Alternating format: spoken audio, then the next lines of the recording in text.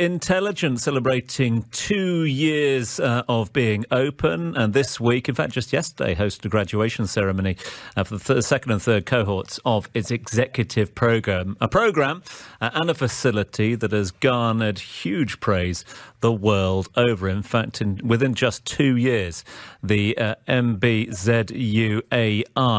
uh, has risen into the top 25 institutions uh, globally in AI. An extraordinary achievement. And one I'm sure that our next guest will be very proud, the acting provost uh, of the Mohammed bin Zayed University of Artificial Intelligence in Abu Dhabi, is Professor Tim Baldwin, who joins us from Abu Dhabi this morning. Professor Baldwin, thanks for your time this morning. Pleasure. Wonderful to be here. Uh, congratulations to you uh, and all the faculty down there uh, at uh, the uh, MBZUAI. You must be. Um, um, Obviously, very proud uh, of the graduation ceremony, not just yesterday, but over the course of the last two years, but also international recognition to see you rise through the ranks of uh, institutions of learning for AI. Indeed. Uh, it's been a, a, a, roller coaster. We're very proud of where we've got to. Uh, um, it's just the, the, beginning for us, uh, honestly. So we've uh, established departments in uh, the three core areas of uh, computer vision, which is uh, images, videos, uh, natural language processing, which is my field, which is anything to do with text and speech, and uh, machine learning, which is all the rest, you know, financial data, time series data, things like that. Um, we're starting another four departments this year: robotics, statistics, amongst them, computer science. Um, so, yes, uh, very excited about the, the journey ahead. Um, obviously, we know the importance uh, of AI learning, not just here in the UAE, but to the world at the moment to address some of the AI talent shortages out there. Um, what, in terms of the competition, and again, a lot being made of the fact that you've risen to the top 25 institutions globally uh, for AI, um, what is it that sets the MBZU AI apart from dare I say, the competition? Uh, uh, it's a lot of things. Um, so it, it's the fact that we're a university which specialises on just uh, AI. Uh, um, unlike most universities where AI is uh, you know, kind of hidden amongst the, the myriad of uh, activities. so the, the, the, critical density that we have in AI um, means that I can walk down the, the corridor and have uh, you know, specialists in you know, literally every area, uh, and not just specialists, but world leaders uh, in every areas. Um, it also uh, being located specifically in Abu Dhabi uh, and the UAE uh, area, with you know, the very ambitious, of course, AI 2031 AI national strategy, being able to, to feed into that, including through the uh, MBZUAI executive program. Uh, it's a, a, a truly uh, unique opportunity, very, very exciting to be part of.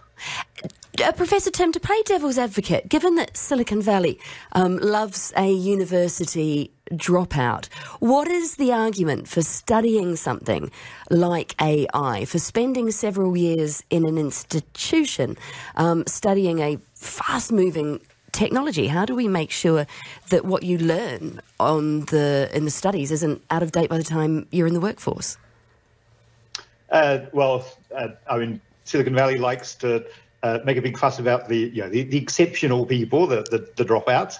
Uh, to uh, name them, but uh, by having you know, world leaders, people who are um, not just specialists in these areas, but you know the, the inventors of these areas, means that by definition our, our students are working with the, the, the, people who are leading the field.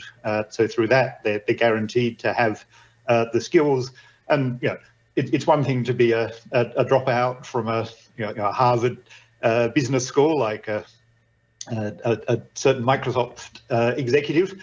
Uh, but you know, for our students um, who are from around the world, yeah, they don't necessarily have those opportunities. So there's there's substantial up, uplift in them, them being able to to come to us, uh, and through us being able to stay in the region and contribute to specifically some of uh, Abu Dhabi and UAE's targets.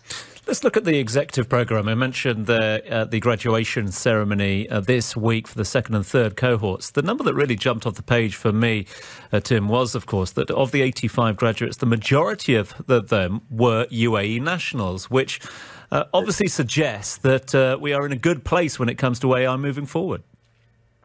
Absolutely. Uh, I mean, we have uh, um, a, a, real mix from different industry sectors uh, and government. Uh, um, you know, the number of people we've had coming through, so we're at 120 and counting. We're about to start our fourth cohort next week.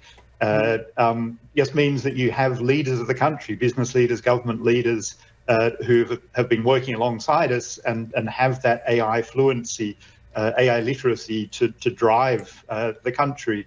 Uh, you just don't have that anywhere else in the, the world. Uh, and particularly the, the mix of, of different areas, we often get the, um, the comment from our um, MBZUAI MEP students that coming together, working in teams, working alongside, you know, just the, the caliber of the, the faculty that we have to come and teach into the program is just it, it's completely uh, unparalleled anywhere in the world.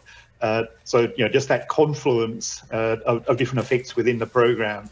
Uh, you know, means that it's it's uh, we, we, like to talk about unique opportunities, mm. but yeah, this is just truly, truly uh, unparalleled. It's very exciting to be part of.